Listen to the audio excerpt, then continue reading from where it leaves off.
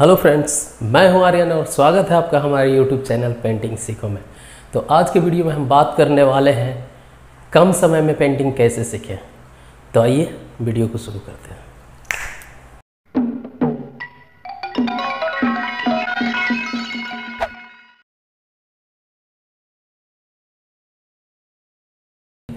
तो फ्रेंड्स कम समय में पेंटिंग सीखने के लिए आपको चार बातों का याद रखना है।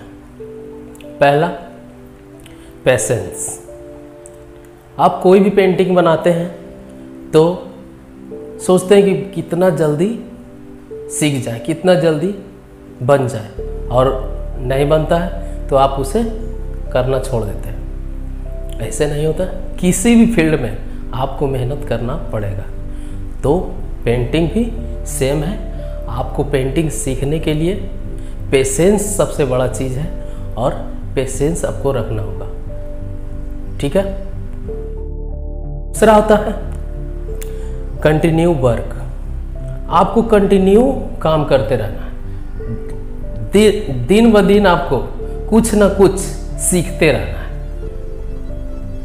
तो मैं आपके साथ हूँ। जो भी आपको क्वेश्चन पूछना रहे, जो भी प्रॉब्लम हो, आप मेरे इंस्टाग्राम पे फॉलो कीजिए और वहाँ मैसेज कीजिए। मैं हमेशा एक्टिव रहता हूँ और आपके सभी सवालों का जवाब दे पाऊँगा। तो कंटिन्यू वर्क करें और रोज कुछ ना कुछ सीखें। तीसरा, आप बिगनर हैं, आपको कुछ नहीं आता है बनाने तो एकदम इजी इजी पेंटिंग आप लीजिए। ऐसा नहीं कि हार्ड पेंटिंग ले लिया फिर बन नहीं रहा है क्या करें ये वो। ऐसा नहीं। आप एकदम इजी पेंटिंग लीजिए। मैं आपको टिप्स देता रहूँगा उसका। आप मेरे लेसन के अनुसार भी आप चल सकते हैं वीडियो देखकर। तो ती, तीसरा बात हमने क्या बताई?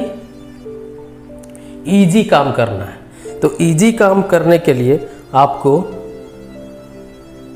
इजी काम करने के लिए आपको छोटे छोटे चीज़ बनाने हैं। छोटे छोटे फिगर ये छोटा साइज़ में नहीं बोल रहे हूँ। छोटा मतलब फल, सब्ज़ी कार्टून्स फूल, फल, ये सब। ये सब पेंटिंग्स आप बनाइए। जैसे आप देख रहे हैं, देखिए फल बना रहे हैं। तो फल यहाँ पे आम बना रहे हैं। तो किस तरह से बन रहा है? ये छोटा छोटा चीज़ है, आम वगैरह ये सब। ये देखिए, और जो भी हम पेंटिंग बनाएँगे, उसे डायरेक्ट नहीं, ऐसे करके खींच दिया, बना दिया। नहीं पेंसिल चलाने का एक तरीका है।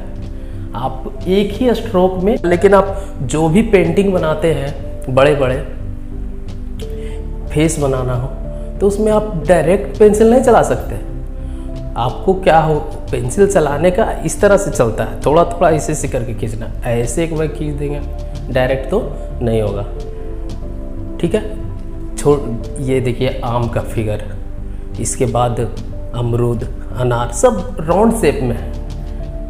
और उसी में थोड़ा बहुत कंस्ट्रक्शन होता है। बस उसे बनाइए। और वो सब इजी है अच्छा बनेगा तो अपने आप में एक कॉन्फिडेंस आएगा। और आप आसानी से वो चीज़ कर पाओगे। चौथा होता है आर्टिस्ट जो है, दो तरह का होता है। एक फिगर बनाता है। हर सीनरी को वो बनाना पसंद करता है। और दूसरा, लेटर पेंटिंग। कोई भी अक्षर, नाम, थ्री डी लुक्स, हर तरीके से लिखना पसंद करता है। तो आपको आपको चूज़ करना है कि क्या सीखें। लेटर सीखें दोनों सीखें, दोनों और भी बेहतर है। तो फ्रेंड्स, कोई भी प्रॉब्लम हो, आप पूछ सकते हैं हमें डायरेक्टली और इजी इजी पेंटिंग बनाइए। मैं तो कहूँगा, आप भी, यदि बिगनर हैं तो जो मैंने बताया, तीसरा पॉइंट इजी पेंटिंग बनाइए। यदि ये वीडियो आपको अच्छा लगा हो तो चैनल को सब्सक्राइब और वीडियो को लाइक कमेंट करना ना भूलें। Thank you